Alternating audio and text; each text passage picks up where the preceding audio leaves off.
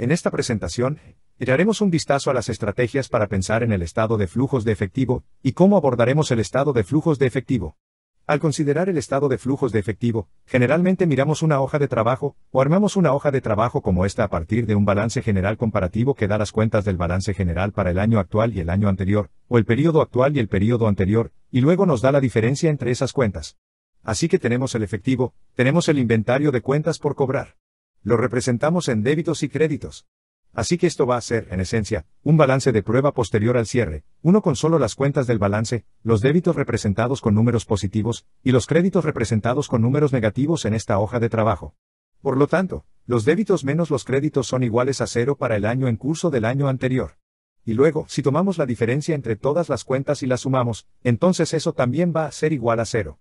Esta será la hoja de trabajo en la que estamos pensando ahora, al considerar el estado de flujos de efectivo, podemos pensar en el estado de flujo de efectivo. Estado de flujos de efectivo de diferentes maneras. Sabemos que esto, por supuesto, es el cambio en efectivo. Este es el periodo de tiempo en el periodo de tiempo actual, el año anterior, en este caso, el periodo anterior. La diferencia entre esos dos es la diferencia en efectivo. Ese es el cambio en efectivo. Eso es algo así como el resultado final del estado de flujos de efectivo, lo que significa que realmente estamos buscando este cambio en el efectivo. Vamos a terminar el estado de flujos de efectivo volviendo a este efectivo al final del periodo de tiempo, para que se vincule al balance general. Pero realmente estamos buscando la actividad, el cambio. Para eso está diseñado el estado de flujos de efectivo. Entonces, para pensar en eso, repasemos que podríamos pensar en el GL, y simplemente mirar el GL para el flujo de efectivo. Ahora, por supuesto, el GL para el flujo de caja va a ser de mucha actividad. Por eso es tan importante el estado de flujo de caja. Porque el dinero en efectivo va a estar involucrado en muchas actividades. Está involucrado en todos los ciclos. Nos ocupamos de las transacciones en efectivo todos los días.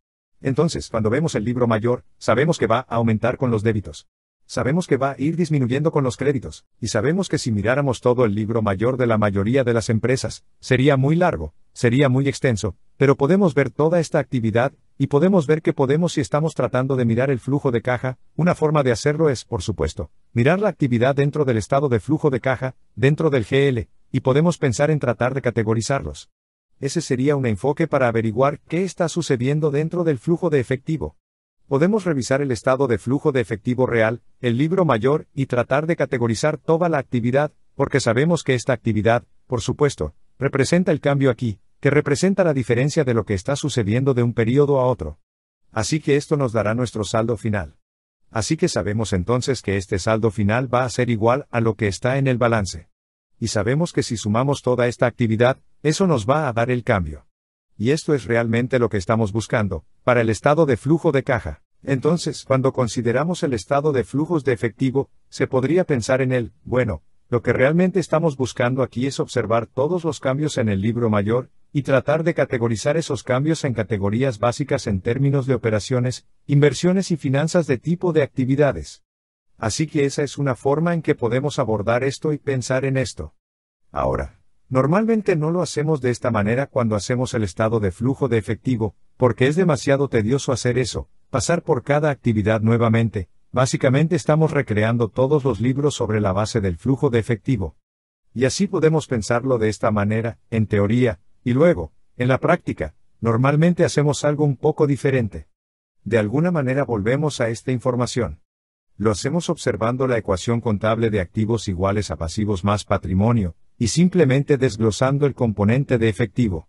Entonces, en nuestra hoja de trabajo, podemos ver que si este es el cambio en efectivo, este es el número que realmente estamos buscando, entonces podríamos ver el cambio en todo lo demás, y eso volverá al cambio en efectivo. En otras palabras, Sabemos que los débitos son iguales a los créditos aquí, por lo que el cambio en efectivo es igual al cambio en todo lo demás, o el cambio en todo suma cero, y por lo tanto todo lo demás que no sea efectivo, el cambio en todo lo demás que no sea efectivo se sumará al cambio en efectivo. Y al hacer esto podemos ver una especie de agrupación un poco más fácilmente, en lugar de mirar a través de cada transacción en el libro mayor porque habrá muchas transacciones, por ejemplo, que compensan esta diferencia en las cuentas por cobrar. Pero no necesitamos mirar todas las transacciones, porque todas son prácticamente iguales. Sabemos lo que sucede con la cuenta sucede con las cuentas por cobrar. Sube cuando hacemos una venta a cuenta y las cuentas por cobrar van a bajar cuando un cliente paga la cuenta. Por lo tanto, no necesitamos mirar cada una de las transacciones que hay allí, como haríamos si lo viéramos en el libro mayor. Podemos agruparlos y decir, mmm, esa diferencia aquí. Y podemos tomar como un todo, y tratar de pensar en cuál es el neto que sucedió en términos de cuentas por cobrar, y volver a lo que sucedió. Hablaremos más sobre cómo hacerlo en cada cuenta individual. Pero ten en cuenta que la teoría de lo que estamos haciendo es que estamos retrocediendo en el estado de flujo de efectivo. Y eso puede parecer confuso al principio en teoría, porque si estás mirando el cambio o la actividad en el flujo de caja, pensarías que estarías mirando directamente al libro mayor, como hicimos en la diapositiva anterior. Uno pensaría que iríamos a la actividad en el GL, y trataríamos de recategorizarlos en términos de flujos de efectivo, términos de categorías, operación, inversión y financiamiento.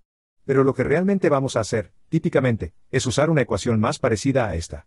Vamos a decir que la ecuación contable es que los activos son iguales a los pasivos más el patrimonio. Luego vamos a desglosar el efectivo y decir, bueno, luego podemos decir, bueno, efectivo más todos los demás activos no monetarios. Así que estamos diciendo esto, si nos quedamos solo con esto, el efectivo frente a todos los activos no monetarios será igual a los pasivos más el capital. Y así estamos. Estamos trabajando con esta fórmula para desglosar el efectivo y al hacerlo, podemos ver el flujo de efectivo, y podemos volver al flujo de efectivo. Así que estas son las dos formas en que son más o menos lo opuesto. Formas en que podemos verlo. Podemos entrar y podemos ver la actividad que está ocurriendo con el efectivo en sí, que es un trabajo un poco tedioso en la práctica, aunque en teoría tiene más sentido. Lo más sensato es decir, oye, lo haríamos. Queremos saber qué está pasando con el dinero en efectivo. Echemos un vistazo al GL, y recategoricemos todo lo que sucedió en la caché.